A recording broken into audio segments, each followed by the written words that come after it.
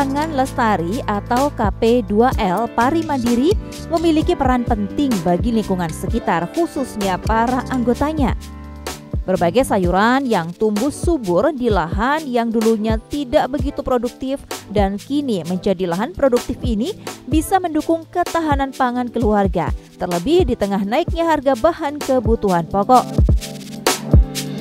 Anggota KP2L Pari Mandiri bisa mengambil hasil panen sayuran di sini secara gratis tanpa harus membeli. Itu artinya bisa menghemat pengeluaran sekaligus bisa menyajikan makanan sehat bagi keluarga.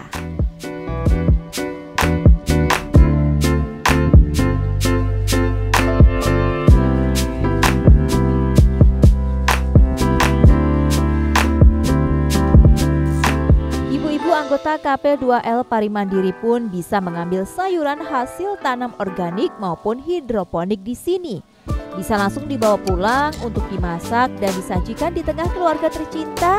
Nah, dengan begitu, ibu-ibu ini bisa menghemat pengeluaran karena tidak perlu lagi membeli sayuran. Lumayan kan? Selain untuk mendukung ketahanan pangan keluarga, hasil tanam berbagai jenis sayuran ini juga dipasarkan sehingga bisa mendatangkan rupiah. Biasanya pemasaran dilakukan melalui media sosial atau dari mulut ke mulut. Pelanggannya pun sudah banyak, bahkan tak jarang para pelanggan memesan sayuran di sini untuk dibagikan di momen arisan, acara keluarga, dan lain sebagainya. Jika sedang banyak pesanan, ibu-ibu anggota KP2L Pari Mandiri ini sejak pagi sudah sibuk di sini untuk memanen, menimbang, dan mengemas berbagai sayuran sesuai pesanan pelanggan.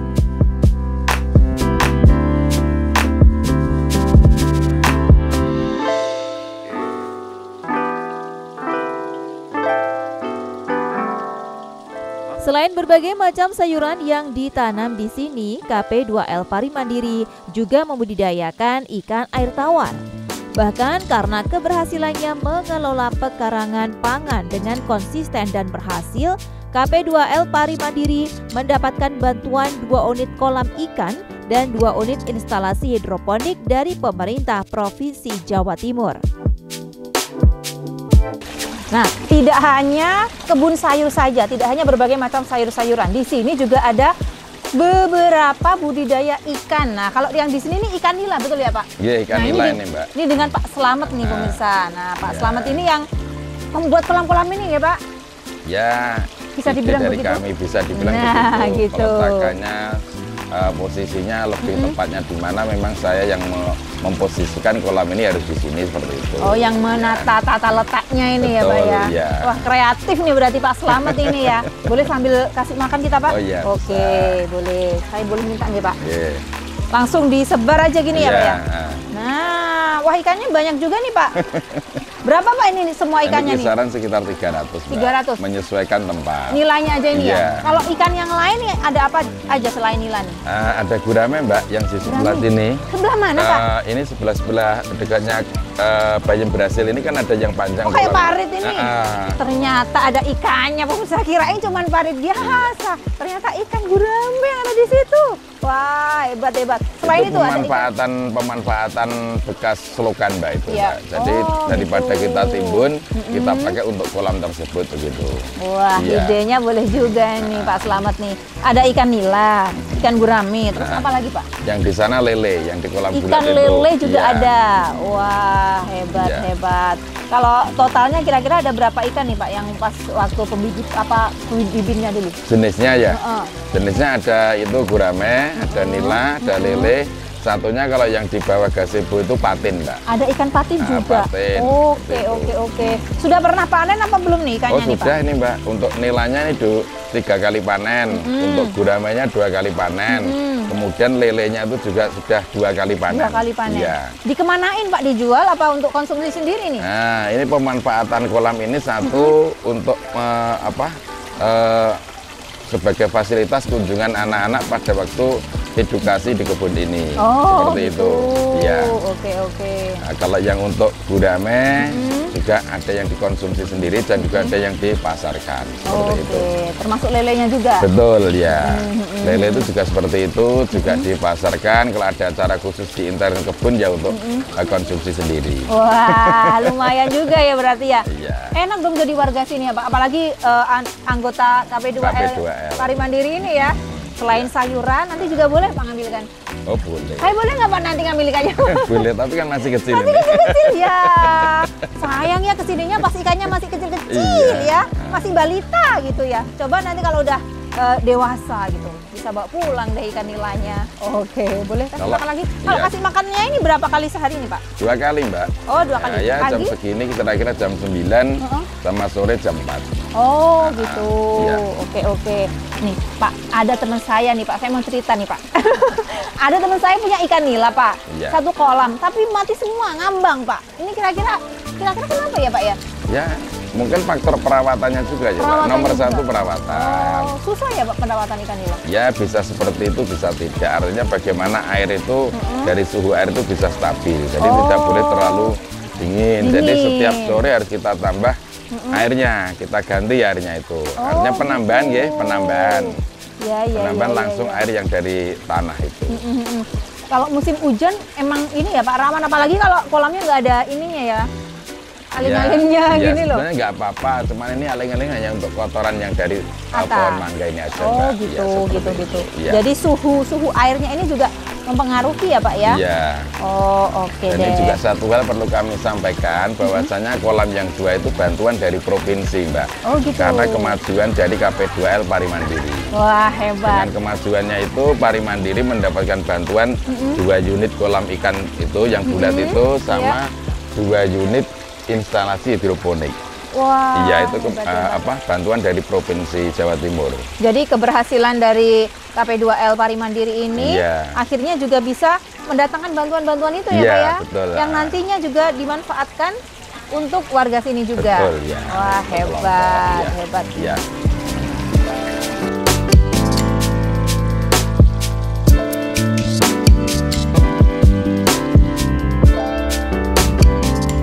Tidak hanya sekedar mengelola pekarangan dengan baik, KP2L Pari Mandiri juga kerap kali dijadikan sebagai jujukan kunjungan edukasi pelajar yang ingin mengetahui seputar penanaman dengan cara organik maupun hidroponik. Di samping itu, KP2L Pari Mandiri juga kerap dikunjungi oleh kelompok ibu-ibu dari daerah lain untuk melihat langsung keberhasilan pemanfaatan pekarangan untuk mendukung ketahanan pangan keluarga. Ada juga yang belajar seputar pengelolaan KP2L di sini untuk diaplikasikan di daerahnya masing-masing.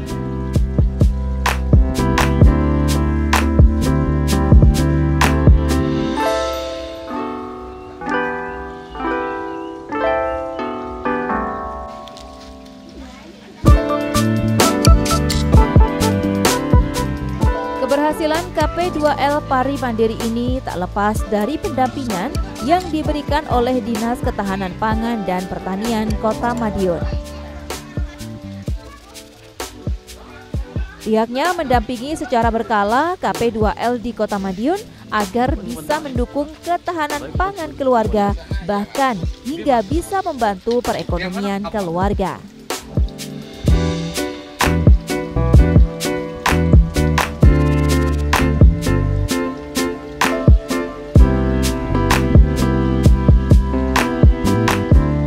Nah, kalau sekarang ini saya sudah bersama dengan Pak Guntur, bener ya? Betul. Dari pendamping Dinas Pertanian. Nah, Pak Guntur, melihat ini KP2L Pari Mandiri ini seperti apa sih dari Dinas Pertanian itu sendiri?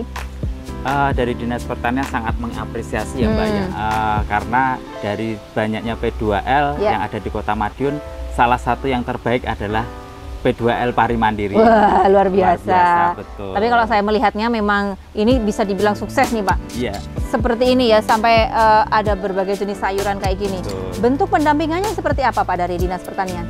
Jadi kami memang ditugaskan untuk mendampingi semua P2- P2L termasuk Mhm. P2L Pari Mandiri ini. Mhm. Jadi kami menjadwalkan setiap sebulan pasti ada kunjungan ke P2L. Hmm. Kemudian di luar jadwal misalkan ada kendala dari P2L Ya. bisa kontak ke kami, Mm-mm. kami pun siap langsung turun ke lapangan. Oh gitu. Di kendala-kendala misalkan ada hama penyakit atau Oh, mungkin iya, ada iya, iya, permasalahan lain, Mhm. kami siap untuk datang ke lapangan. Oh gitu. Iya. Kalau di P2L Parimandiri ini biasanya kendalanya apa Pak? Eh, laporan ke Dinas Pertanian. Apakah tidak ada kendala atau seperti apa? Eh, kendalanya kalau di sini relatif kecil ya, Mm-mm. meskipun ada hama, Mhm. tapi masih bisa diatasi. Oh, Dan kami memang oke. menyarankan untuk tetap menggunakan bahan-bahan yang aman, Mm-mm, tidak mm-mm. menggunakan bahan kimia sama sekali. Ya. Karena konsep dari kegiatan ini adalah pemanfaatan pekarangan Mhm, untuk menjaga eh, ketahanan pangan keluarga Ya, dengan betul. memproduksi sayuran sehat, Mhm. jadi tidak mengandung residu kimia. Nah, seperti yang ada di sini ya Pak, organik Betul, ini ya, dan iya. juga hidroponik seperti yang Hidroponik. ada di belakang dan juga depan kita ini ya Pak ya. Iya. Baik, kalau eh, dari P2L Parimandiri ini kan ibu-ibunya kompak semua nih Pak. Betul. Ada tidak Pak apresiasi dari Dinas Pertanian gitu? Atau mungkin karena eh, saya dengar juga banyak ikut lomba nih, mulai dari PHBS, LBS dan lain sebagainya. Dukungan dari Dinas Pertanian seperti apa? Eh, kalau dari Dinas Pertanian untuk kegiatan P2L sendiri ada lombanya juga. Oh gitu.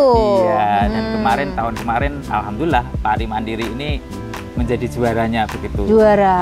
Iya, dan Oke. kami dari dinas juga ada rewardnya Mm-mm, untuk mm-mm. para pemenang lomba P2L ini. Iya.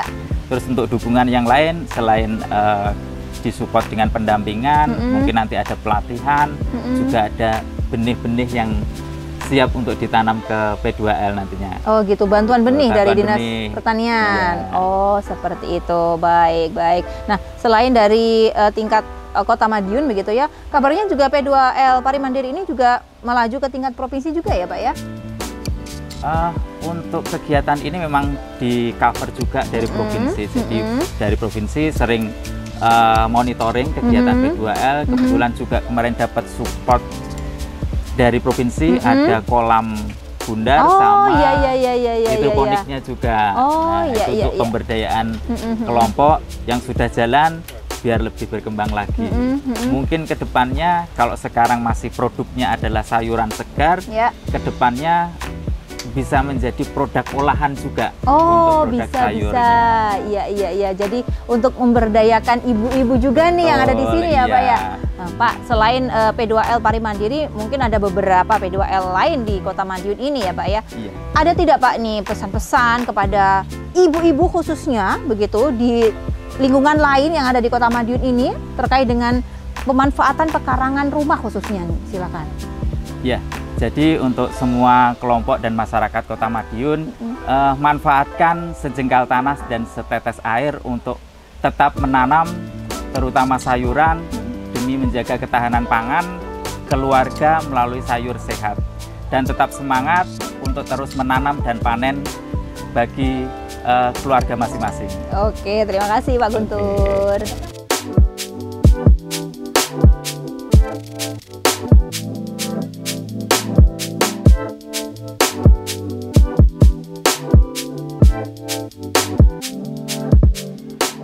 proses penanaman organik di KP2L Pari Mandiri ini juga ada penanaman dengan cara hidroponik. Jika penanaman organik dilakukan dengan media tanam tanah dan pupuk kompos, penanaman dengan cara hidroponik tidak menggunakan media tanah namun memanfaatkan air.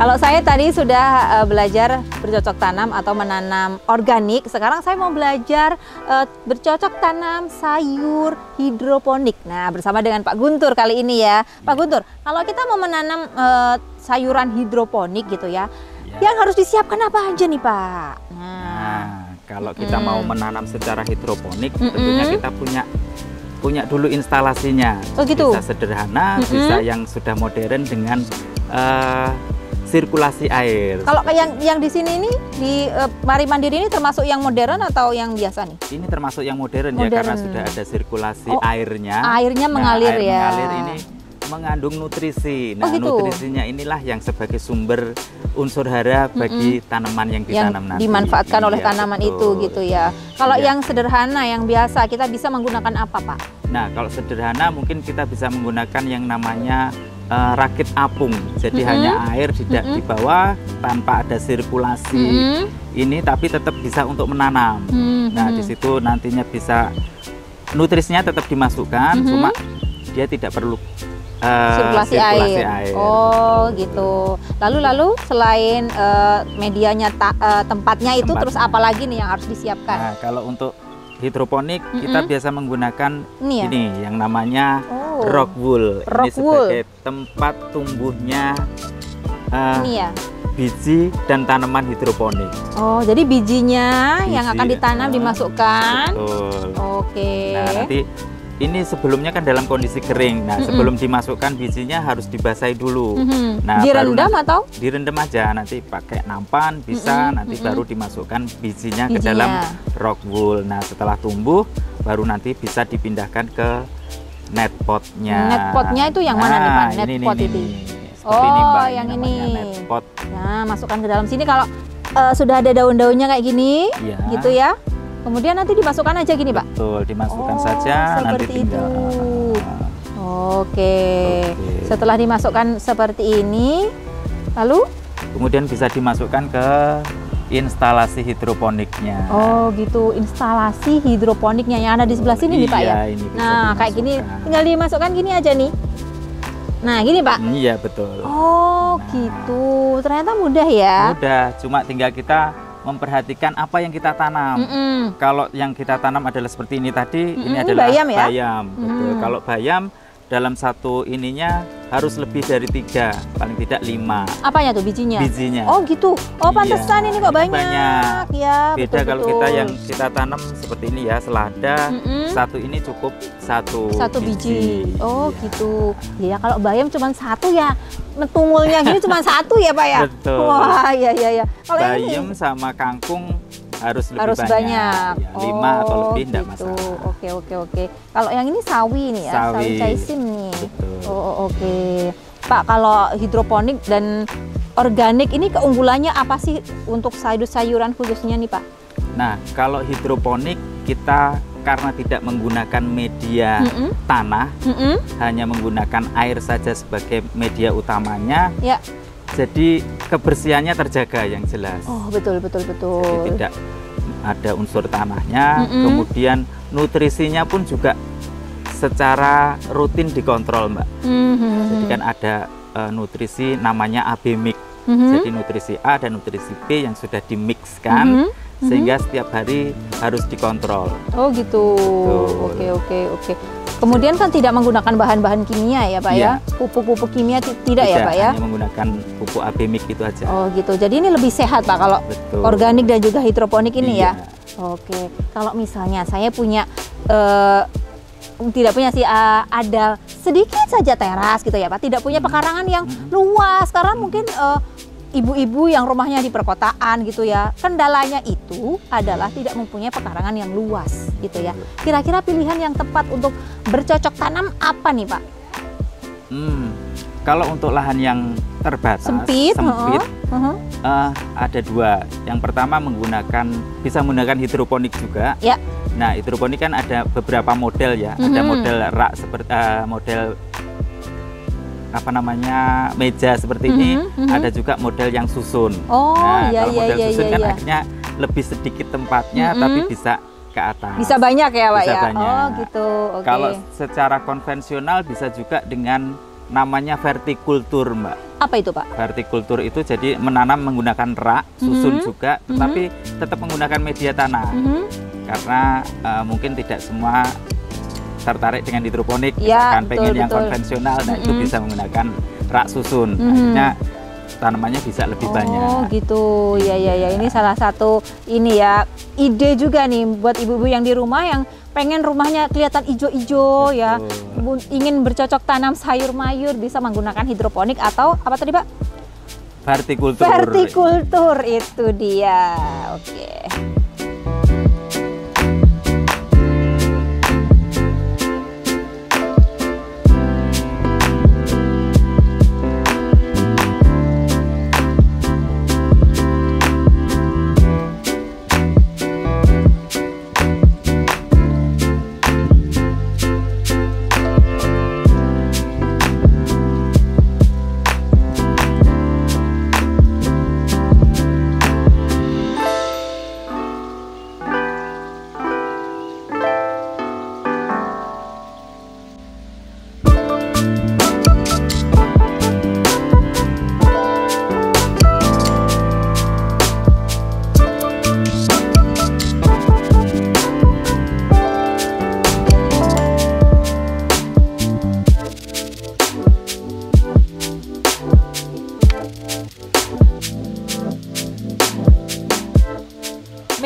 tanam hidroponik ini bisa menjadi pilihan jika memiliki lahan atau pekarangan yang sempit.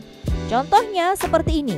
Dengan memanfaatkan pipa yang diisi air dan disusun sedemikian rupa, dinding yang kosong bisa menjadi media untuk menanam sayuran. Sementara agar tidak terkena air hujan secara langsung di bagian atas diberi atap Hal itu dikarenakan air hujan bisa berpengaruh pada kadar nutrisi tanaman yang bisa menyebabkan tanaman khususnya sayuran seperti kangkung ini menjadi tubuh kerdil dan daunnya menguning.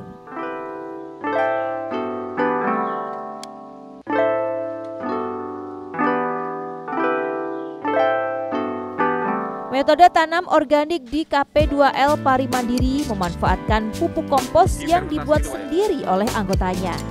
Sampah basah dari sampah rumah tangga, dedaunan kering maupun kotoran ternak dari lingkungan sekitar diolah menjadi pupuk kompos.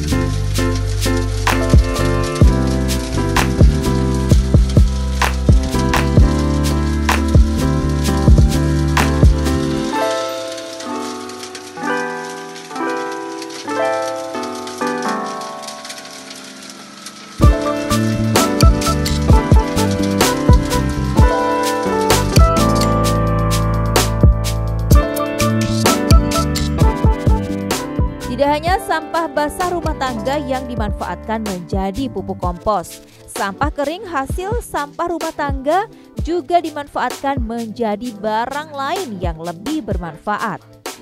KP2L Pari Mandiri memiliki bank sampah yang menampung sampah kering dari warga sekitar.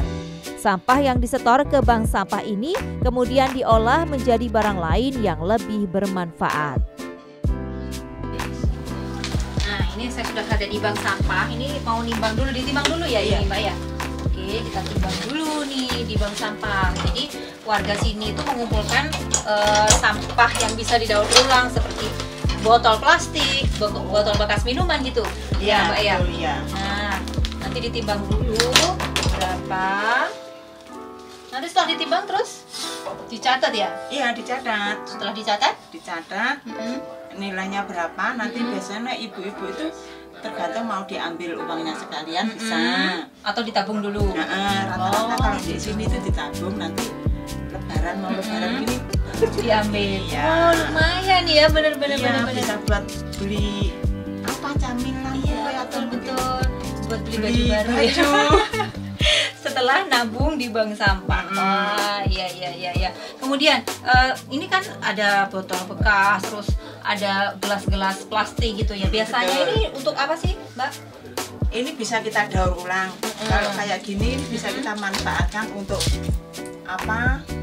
eh, pot. Oh, untuk pot. Eh, ini bisa untuk pot tanaman. gantung ya. Oh iya benar-benar. Tergantung dari jenis bunga yang kita tanam kan gitu. Bisa ini kasih air bisa Mm-mm. atau tanah bisa. Nanti kita tumpangi gini. Oh gitu. Tinggal dicendelkan. Itu kayak di depan-depan iya, itu kan iya, iya. banyak. Jadi hasilnya dari bank sampah ini sendiri juga dimanfaatkan Mm-mm. warga lingkungan sini gitu ya. Ya, betul. Kalau yang tidak bisa dimanfaatkan, misalnya kayak kresek, plastik dan lain sebagainya itu buat apa? itu kita jual. Oh gitu. Kita jual ke pengepulnya. Biasanya Uh-huh. pengepulnya datang. Itu dibawa orangnya itu. Oh gitu, jadi dijual lagi. Iya. Oh, Oke, iya iya iya bagus bagus kreatif juga warga di lingkungan sini ya. Jadi sampah-sampah itu yang sampah basah untuk kompos, pupuk kompos, Iya. sampah keringnya dimanfaatkan di bank sampah. Wah, luar biasa. Ini bisa menjadi eh, ide kreatif untuk ibu-ibu di rumah kan nih. hasil dari daur Oh, ini dari apa kalau yang ini nih? Kalau ini dari botolnya dalamnya. Dalamnya. Oh iya, Nah, ini botol minum bekas minuman. Nah, ini kan dari kulit telur. Oh iya benar kulit telur. Nah, ini Lalu? kan dari karung goni. Oh, bisa keras gini? Kita kasih lem. Oh, dikasih Ya, kita kasih lem terus dijemur kering baru kita bentuk bunga, Bunga. Wah, iya iya iya ini bisa untuk pajangan rumah nih, Iya. lumayan juga ya. Ini juga bisa. Ini dari daur ulang. Hmm, dari Ini kan ya? dalam dalamnya kain, Mm-mm. kain gundungan kan kayak gini. Oh iya benar Nah, bekasnya ini itu ya. kan, Ya. Ini kan kita potong Hmm. sesuai ukuran. Nah, Lalu? kita, ini bawahnya, ini kan kita lem. Mm-mm. Ini bisa untuk asbak. Ini kan Oh, nanti iya. untuk untuk kita lomba PHBS. Mm-mm. Nah, ini kita bisa kita manfaatkan. Oh iya iya. Ini dalamnya kita kasih pasir, Mm-mm. kita gantungkan di, di mau masuk ke rumah. Mm-mm. Nah, ini kan orang yang mau masuk mau, merokok itu, Iya. kita matikan dulu, Oh. baru ke rumah. Sebelum masuk rumah, Mm-mm. matikan rokoknya. matikan rokoknya. Ditaruh sini. Nah, Oh iya iya ya. Ini ide ide baru lagi nih ya kayak gini nih ya. Ya. Ini ini ide-ide seperti ini begitu ya yang bisa nanti apa ya diaplikasikan ke rumah atau lingkungan ibu yang ada di rumah. Berkat keberhasilan dalam mengelola pekarangan pangan lestari, KP2L Pari Mandiri kerap kali mengikuti lomba baik di tingkat Kota Madiun maupun di tingkat Provinsi Jawa Timur. Prestasi pun berhasil diraih di antaranya juara harapan 1 Go Green tingkat Kota Madiun tahun 2019, Kelurahan Berseri kategori Mandiri tingkat Provinsi Jawa Timur, hingga proklim peringkat utama nasional dengan tropi utama dan uang pembinaan, serta masih banyak prestasi lain yang berhasil diraih KP2L Pari Mandiri. Dengan keberhasilan KP2L Pari Mandiri dalam mengelola pekarangan pangan lestari bisa menjadi motivasi dan inspirasi KP2L daerah lain dalam memanfaatkan pekarangan atau lahan sekitar yang kurang produktif menjadi lebih produktif. Nah, jadi gimana pemirsa? Tertarik nggak nih untuk memanfaatkan pekarangan rumah atau lahan yang tidak produktif untuk ditanami tanaman organik atau juga bisa tanaman hidroponik ya setelah tadi saya eh, belajar gitu ya. Ternyata boleh juga. jadi nanti di rumah ini ada tanaman sayur-sayuran yang tentunya nanti juga bisa menjaga ketahanan pangan keluarga dan siapa tahu ya kan siapa tahu bisa kayak gini nih pemirsa. Nah, bisa jadi seperti ini nanti bisa dipasarkan apalagi tentunya harganya juga lebih tinggi karena ini tanaman lebih sehat dengan tanaman organik dan juga hidroponik. Nah, jadi gimana? Tertarik untuk mencobanya? Tertarik untuk memulai untuk menanam organik atau menanam hidroponik ya? Anda bisa belajar ya. Anda bisa berkunjung ke KP2L Pari Mandiri yang ada di Kelurahan Manis Rejo Kecamatan Taman Kota Madiun. Sampai jumpa. Salam JTV